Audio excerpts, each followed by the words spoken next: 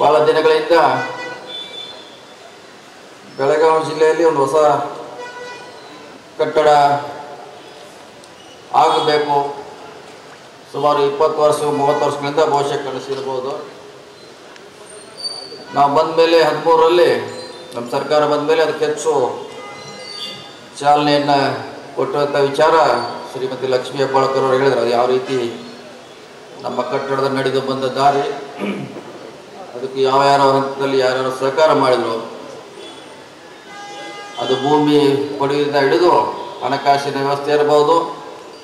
ಬೇರೆ ಬೇರೆ ವ್ಯವಸ್ಥೆಗಳನ್ನು ಕೊಡುವ ಮೂಲಕ ಒಂದು ಬಹುಶಃ ಅತ್ಯಂತ ಸುಂದರ Bengaluru K P C C ಬಿಟ್ಟರೆ ಬಹುಶಃ ಎರಡನೇ K P C C Belagavi ಹೆಗ್ಗಳಿಕೆ ನಮ್ಗೆ ಭಾಳ ಸಂತೋಷ, ಖುಷಿ ಕೂಡ ಆಗ್ತದೆ. ಯಾವುದೇ ಒಂದು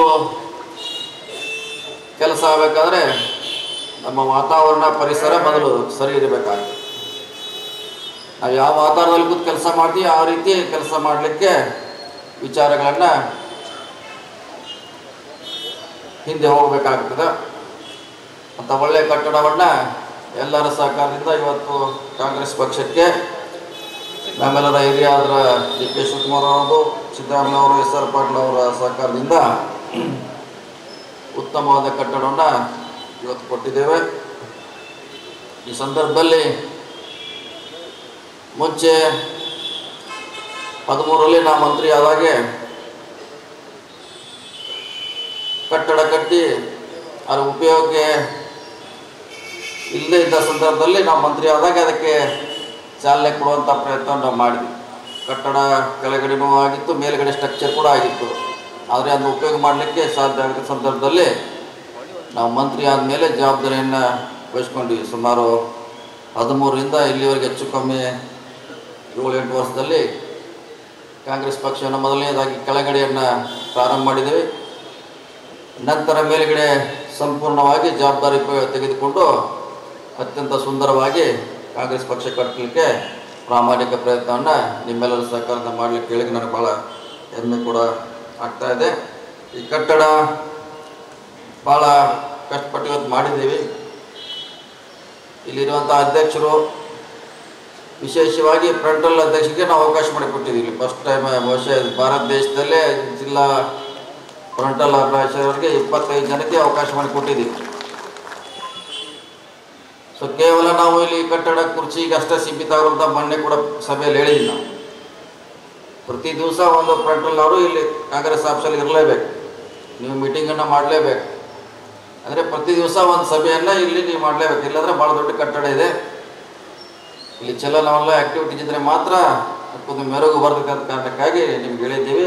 ಈಗ ಕೂಡ ನಂತರ ಸಭೆಯಲ್ಲಿ ಕೂಡ ನಿಮಗೆ ಅದ್ರ ಬಗ್ಗೆ ಇನ್ನೂ ಸಾಕಷ್ಟು ಸವಿಸ್ತಾರಗಳಿದೆ. ನಿಮ್ಮ ಮೇಲೆ ಭಾಳಷ್ಟು ಜವಾಬ್ದಾರಿ ಇದೆ.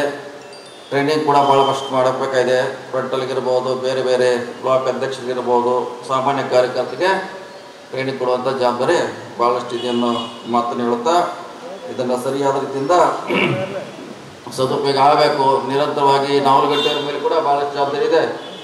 ಯಾಕಂದರೆ ಇಲ್ಲಿಯವರಿಗೆ ಜವಾಬ್ದಾರಿ ಬೇರೆ ನಾಳೆಯಿಂದ ಜವಾಬ್ದಾರಿ ನಿಮ್ಮ ಮೇಲೆ ಭಾಳಷ್ಟು ಇದೆ ಮತ್ತು ನಿಮ್ಮ ಕೈ ಕೆಳಗಿರುವಂಥ ಎಲ್ಲ ಫ್ರಂಟಲ್ಲವರು ಕೂಡ ಅವ್ರು ಮಾನಿಟ್ರ್ ಮಾಡಬೇಕು. ಅವರಿಗೆ ಕೆಲಸ ಹಚ್ಚಿ ಕಾಂಗ್ರೆಸ್ ಪಕ್ಷವನ್ನು ಕಟ್ಟುವಂಥ ಕೆಲಸ ತಾವು ಮಾಡಬೇಕಂತ ಇವತ್ತು ಮನವಿಯನ್ನು ಮಾಡ್ಕೊಂಡು ಸರಿಯಾದ ದಿಕ್ಕಿನಲ್ಲಿ ಪಕ್ಷ ಕಟ್ಟೋದು ಭಾಳ ಅವಶ್ಯಕತೆ ಇದೆ. ಮುಂದಿನ ದಿನಗಳಲ್ಲಿ ಕಾಂಗ್ರೆಸ್ ಪಕ್ಷ ಮತ್ತೆ ಕರ್ನಾಟಕದಲ್ಲಿ ಅಧಿಕಾರಕ್ಕೆ ಚುಕ್ಕಾಣಿ ಹಿಡಿಬೇಕಾದ್ರೆ ನೀವೆಲ್ಲರೂ ಶಿಸ್ತಿನ ಸಿಪಾಯಿಗಳಾಗಿ ಕೆಲಸ ಮಾಡಬೇಕು. ಬಹುಶಃ ಇದಕ್ಕೆ ನಾವು ಖರ್ಚು ಮಾಡಲಿಕ್ಕೆ ಯಾವುದೇ ಇತಿಮಿತಿಯನ್ನು ಇಟ್ಕೋದಿಲ್ಲ. ಮುಗಿಸ್ಬೇಕಂದ್ರೆ ಮುಗಿಸಿದ್ವಿ ಅಷ್ಟೇ. ಅದೆಷ್ಟಾಗಿದೆ ಬಹುಶಃ ನಮಗೂ ಕೂಡ ಇಲ್ಲ. ಇದನ್ನು ಅಧ್ಯಕ್ಷರು ಕಂಡುಹಿಡಿಬೇಕಾಗುತ್ತೆ ಎಷ್ಟು ಖರ್ಚು ಮಾಡಿದ್ವಿ ಅಂತ ಯಾವುದೇ ಲೆಕ್ಕನ ಇಟ್ಟಿಲ್ಲ. ಮುಗಿಸ್ಬೇಕಿತ್ತು ಮುಗಿಸ್ಕೊಟ್ಟಿದ್ವಿ ನಾವು. ಅದೇ ರೀತಿ ಸೇವಾದಳದಲ್ಲಿ ಕೂಡ ಸಾಕಷ್ಟು ಈಗಾಗಲೇ ಅಲ್ಲಿ ಕೂಡ ಖರ್ಚು ಮಾಡಿದ್ದೀವಿ ಯಾಕಂದ್ರೆ ಅದು ಉತ್ತಮವಾದಂಥ ತರಬೇತಿ ಕೇಂದ್ರ ಆಗಬೇಕಂತ ಈಗಾಗಲೇ ಸುಮಾರನ್ನ ಅಲ್ಲಿ ಖರ್ಚು ಮಾಡಿದ್ದೀವಿ. ಇವತ್ತು ಬಹುಶಃ ಅಧ್ಯಕ್ಷ ಕೂಡ ಖುದ್ದಾಗಿ ನೋಡಿದ್ದಾರೆ. ಮತ್ತು ಇನ್ನು ನಾವು ಅಲ್ಲಿ ನಿರಂತರವಾಗಿ ಮಾಡ್ತೀವಿ. ಇಷ್ಟಕ್ಕೆ ಮುಗಿದಿಲ್ಲ. ಸೇವಾದಳ. ಕಾಂಗ್ರೆಸ್ ಕಚೇರಿ ಇವತ್ತು ಮುಗಿತು ಇಷ್ಟಕ್ಕೆ. ಆದರೆ ಸೇವಾದಳ ನಿರಂತರವಾಗಿ ಕಟ್ಟಡ ಬರ್ತದೆ. ಅಲ್ಲಿ ದಿನನಿತ್ಯದ ಖರ್ಚುಗಳು ಬರ್ತಾವ. ತಿಂಗಳ ಖರ್ಚುಗಳನ್ನು ನಾವೆಲ್ಲ ಸಂಪೂರ್ಣವಾಗಿ ಜವಾಬ್ದಾರಿ ತಗೊಂಡು ನಿಮ್ಮನ್ನು ಶಿಸ್ತಿನ ಸೇವಾದಳದ ಕಾರ್ಯಕರ್ತರಾಗಿ ಮಾಡಲಿಕ್ಕೆ ನಾವು ಬದ್ರಿದ್ದೀವಿ ಅಂತ ಇವತ್ತು ಹೇಳಕ್ಕೆ ನನಗೆ ಭಾಳ ಹೆಮ್ಮೆ ಅನ್ನಿಸ್ತದೆ ನನಗೂ ಮುಂಚೆಯನ್ನು ಕೂಡ ಸಂಘಟನೆ ಒಂದು ವ್ಯಕ್ತಿಯನ್ನು ರೂಪಿಸೋದಕ್ಕೆ ಭಾಳ ನನಗೆ ಇಷ್ಟ. ಅದಕ್ಕಾಗಿ ನಾನು ಅಧ್ಯಕ್ಷಕ್ಕೆ ಫಸ್ಟ್ ಅದೇ ಹೇಳಿದೆ ನನಗೆ. ಇನ್ನೂ ಕಾರ್ಯಾಧ್ಯಕ್ಷ ಆಗೋ ಅರ್ಧ ಗಂಟೆ ಮುಂಚೆ ನನಗೆ ಕರೆದು ಹೇಳಿದ್ರು, ನೀವೆಲ್ಲ ವರ್ಕಿಂಗ್ ಪ್ರೆಸಿಡೆಂಟ್ ಆಗ್ತಾರೆ ಅಂತ ನಾನು ಹೇಳಿದೆ. ಈ ಪಕ್ಷಕ್ಕೆ ಅವಶ್ಯ ಇರೋದು ಕೇಡರ್ ಬೇಸ್. ಅವಾಗ ಏನು ಹೇಳಿದಾಗಿದ್ದ ಅಧ್ಯಕ್ಷರು ಅದನ್ನು ಗಂಭೀರವಾಗಿ ಪರಿಗಣಿಸಿದ್ದಾರೆ. ನನ್ನನ್ನೇ ತರಬೇತಿ ಚೇರ್ಮನ್ ರಾಯ್ ಕೂಡ ನೇಮಿಸಿ ಈಗಾಗಲೇ ಸಾಕಷ್ಟು ಕೆಲಸ ಹಂತದಲ್ಲಿ ನಾವು ಮಾಡುವಂಥ ಪ್ರಯತ್ನ ಮಾಡಿದ್ದೇವೆ. ಬಹುಶಃ ಮುಂದಿನ ತಿಂಗಳಿಂದ ಅಥವಾ ನವೆಂಬರ್ನಲ್ಲಿ ತರಬೇತಿ ಕಾರ್ಯಕ್ರಮ ಘಟಪುರದಲ್ಲಿ ಪ್ರಾರಂಭ ಆಗುತ್ತೆ. ಬೇರೆ ಬೇರೆ ಭಾಗಗಳಲ್ಲಿ ಕೂಡ ಇವತ್ತು ತರಬೇತಿ ಕೇಂದ್ರವನ್ನು ಸೇವಾದಳ ಮೂಲಕ ಕೊಡುವಂಥ ಪ್ರಯತ್ನವನ್ನು ಮಾಡ್ತೀವಿ ಅನ್ನೋ ಮಾತು ಹೇಳ್ತಾ, ಯಾಕೆಂದ್ರೆ ನಮಗೆ ಪಕ್ಷ ಕಟ್ಟಬೇಕಾಗೋದ್ರಿಂದ ಇಲ್ಲಿ ನಾವು ಎಷ್ಟು ಖರ್ಚು ಮಾಡ್ತೀವಿ ಮುಖ್ಯ ಅಲ್ಲ, ಆ ಗುರಿ ಮುಟ್ಟೋದು ಭಾಳ ನಮಗೆ ಮುಖ್ಯ ಅಂತ ಇವತ್ತು ಈ ಕಟ್ಟಡವನ್ನು ಅತಿ ಸುಂದರವಾಗಿ ಮಾಡಿಕೊಟ್ಟಿದ್ದೇವೆ. ಅದಕ್ಕಾಗಿ ನಮ್ಮ ಮೇಲೆ ಅಧ್ಯಕ್ಷರಿರ್ಬೋದು ಸಿ ಎಲ್ ಪಿ ಅವರು ಭಾಳಷ್ಟು ಜವಾಬ್ದಾರಿ ಕೊಟ್ಟ ನಮಗೆ ಈ ಸ್ಥಾನವನ್ನು ಕೊಟ್ಟಿದ್ದಾರೆ.